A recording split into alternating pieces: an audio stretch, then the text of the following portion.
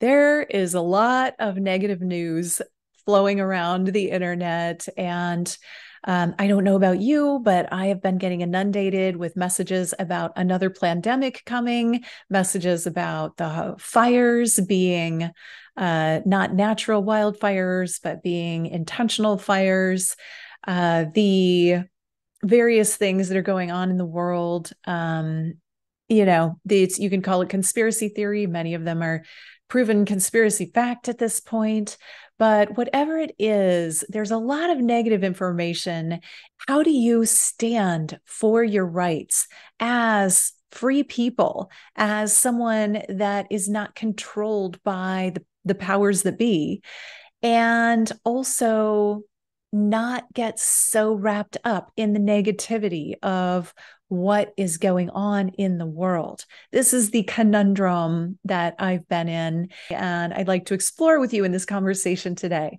I'm Waxela Sananda. Thank you for joining me. There are so many issues that we can really get wound up about. We, and, and especially here as Americans, we believe so strongly in our freedoms. We are willing to fight for them and stand for them. And we don't take that lightly. And I know it's not just in uh, in America, but of course all around the world. Freedom is such an important thing. Human sovereignty is our number one priority here. If we are controlled, then we really don't have free will as humanity. I would say that anything that we fight for, if it's a good cause, we're really fighting for the liberation of the people and of the planet. And this is a very important cause, and it shows up in so many different ways around our world. And so I was reading a friend's Facebook post yesterday, and the post was, I do not comply. And of course, she's alluding to new plans to have lockdowns, plans to have people mask again, and all of those things. Um, of course, it will be followed by, um, you know what, more jabs inevitably, because that's the ultimate goal, I think. There was one post or one uh, reply on that post that really caught my attention and that I really appreciated. And and I do appreciate everyone standing up for your rights. So I I absolutely align with that. What I'm looking at here today is how do we stand up for our rights and not get sucked in to the negativity that's going on? And how do we stand for what we want rather than perpetuating what we don't want simply by being angry about it. This one post or reply on this post said, uh, I'll paraphrase, but something to the effect of, I absolutely agree. And I believe in our freedoms. And I've been studying a lot of divine teachings. And the way that we use our words is meant to be the way that we create the world. And if you follow me, you know this is my philosophy as well we create our lives and our experiences with the words that we say, the actions that we do, and the way that we are being in the world. And so, if we're constantly speaking about, oh no, this is coming, I saw that, how do we stay in the positive creation? Of our lives? How do we project the world that we desire, that we want to live in, that we see, the new earth, the 5D? How do we project that world and that reality and be the people that are creating and stepping into that world? As we're also experiencing the downfall of the old, the old way of doing things, and all of the negativity, the chaos, the upheaval. Where is the balance in that? So, my my real conundrum here is how do we hold both? How do we hold both at the same time? How do we hold the knowing that the world is not operating on the up and up, that our governments are not operating for the highest good of the people, that there is all kinds of cover up and negativity happening on our world that we don't believe in and that we won't allow it to be what we stand for. And how do we simultaneously hold positivity, love, the vision for the future? Because one requires standing up and really pushing back what is coming. And the other one requires a way of being that is, I am unbeatable. I am unbreakable. I am pure love and light, and this cannot affect me. However, we cannot just ignore these things that we do not want because if we've seen already, if we ignore and do nothing, they can take over our world, right? So, and I'm not going to say that I have the answer to this. It's simply an exploration. How do we hold both? And I can take this into my relationship with really personal pain and trauma that happens in our lives. If you've had any kind of trauma, and if you're human, you most likely have. I don't know any humans aside from maybe small babies that haven't experienced trauma in their life. Um, even being born can be a trauma. So if you're human, you are inevitably holding some pain, whether it's from your past, from something going on in your life currently, from the state of the world there is pain and a lot of bodies hold pain lot, there is emotional pain. You know it's it's with us and i think a big question mark for humanity for each of us individually is how do you hold your pain? Because I see a lot of numbing, and I'm not going to say I've never done this. You know, there is alcohol and drugs, and big pharma is, is a huge perpetrator of numbing. Um, there are all kinds of diversions and addictions and escapism and i'm not saying that you shouldn't entertain yourself i mean this there are lots of things to enjoy in this world and i'm not condemning any of that but looking deeper at every action that I do, is this to numb or avoid something? Or am I doing this out of joy and celebration? And a lot of the trauma covering, the, the push away that we do internally, we are trying to cover up something that we're not ready to have surface something that we don't want to see or feel, witness, acknowledge, and be with in our life experience so that we don't have to keep reliving it. The thing is, as we're suppressing it, we are reliving it just subconsciously, not consciously. So it is still affecting our lives as long as we haven't looked at it and dealt with it. And so I feel the same way about the quote unquote outer world, it's reflecting the inner world. So if you are deeply traumatized by things that you're seeing happening in the world, there is trauma clearing to do. And it's so important not, number one, not to avoid it, not to pretend you don't see it. This is not about pretending that these things aren't going on so that we don't have to deal with them. It's quite the opposite, acknowledging it. I see this. I feel it. I my heart is is aching because of it. I witness things that are going on in the world and it's hard to be with. And yet we get to be with them.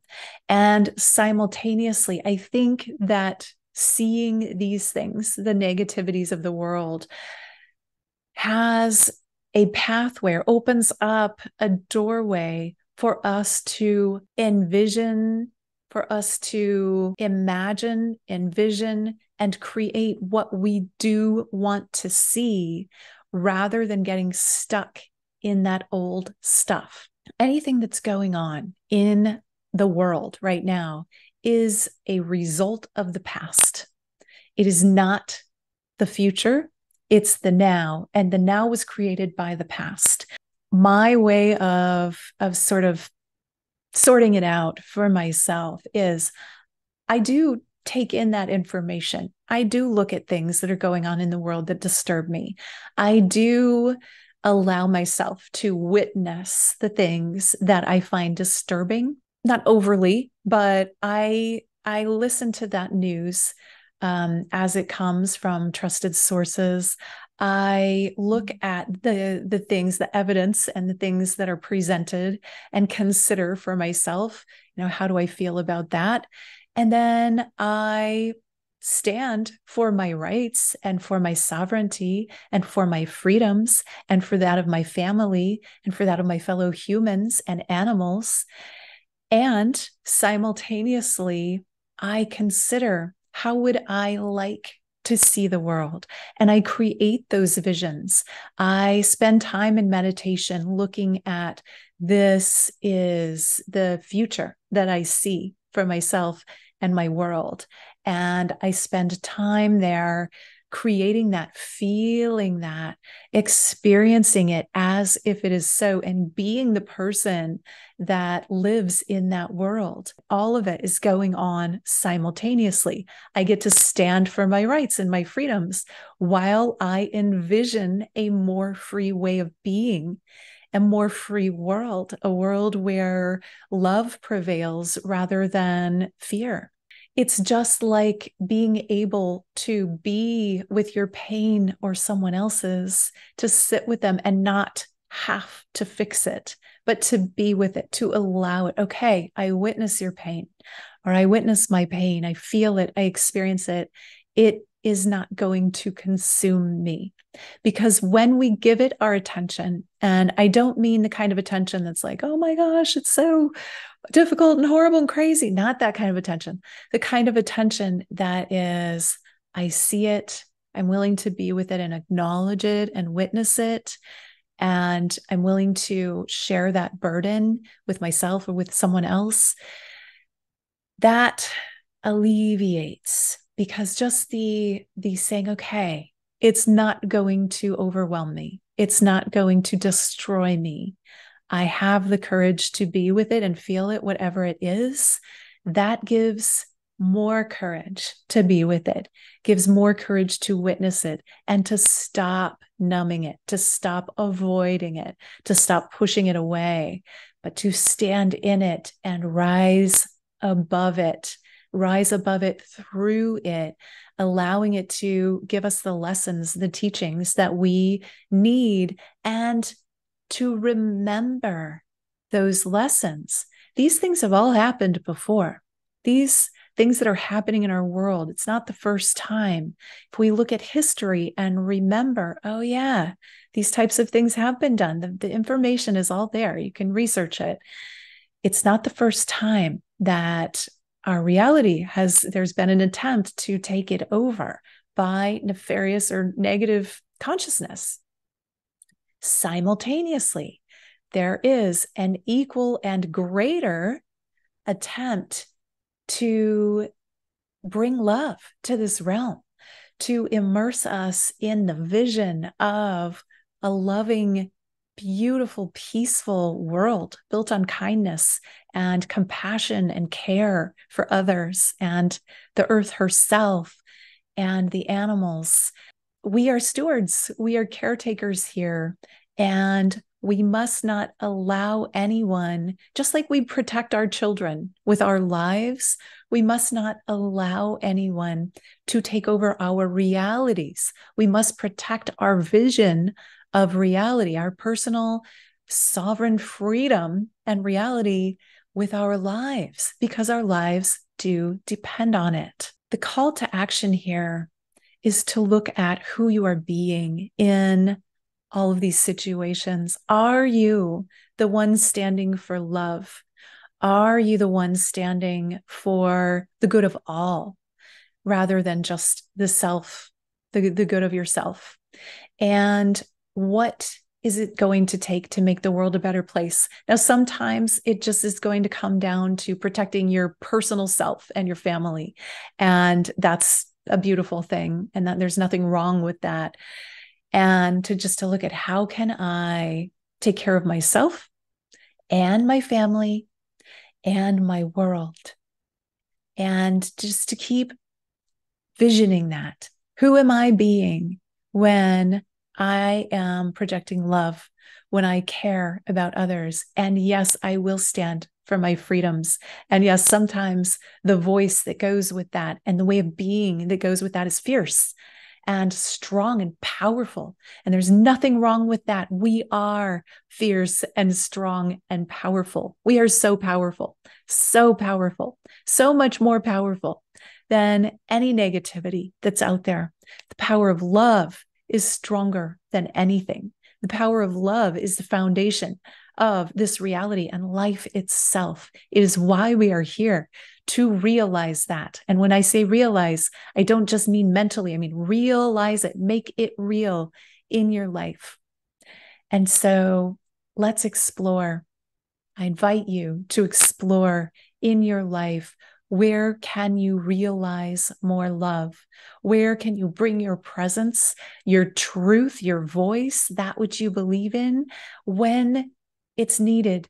Will you use it to stand, to stand up, and to stand for the life and the world and the reality that you choose to see and that we are stepping into as we move and ascend as humanity and this planet is stepping in to the 5D, the higher reality, the new earth. It is happening. We are going to rise up from the ashes like the phoenix, and we will find ourselves in this great new reality if we do choose love. Not everyone will, and that's okay. There are multiple realities going on simultaneously. The frequency that you're at if it's a frequency of love, you will step in to the new earth in love. But the old earth is not going down without a fight. And I don't mean you have to physically harm or injure anyone or anything. I mean, that fight is internal inside of you. What do you stand for?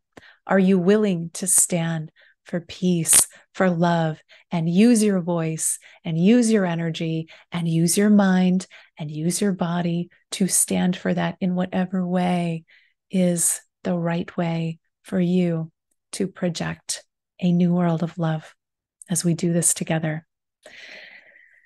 I will end there today. Thank you for watching, for tuning in with me. I always want to be a voice for positive, for the new earth, for what we're creating without ignoring what's going on in the world. If you appreciate my content, please do like, subscribe to my channel, and I'll see you on the next video. I love you. I appreciate you. Namaste.